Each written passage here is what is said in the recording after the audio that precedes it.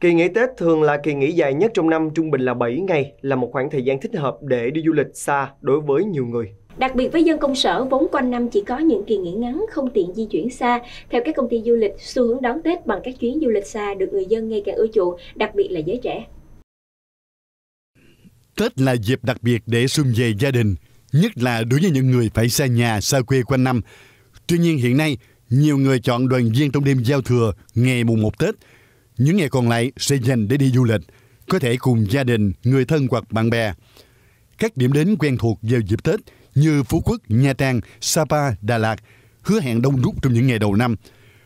Thị trường du lịch Tết Quý Mão năm 2023 sôi động với chi phí hợp lý. Việc tận hưởng kỳ nghỉ xa nhà được du khách, nhất là giới trẻ ưa thích.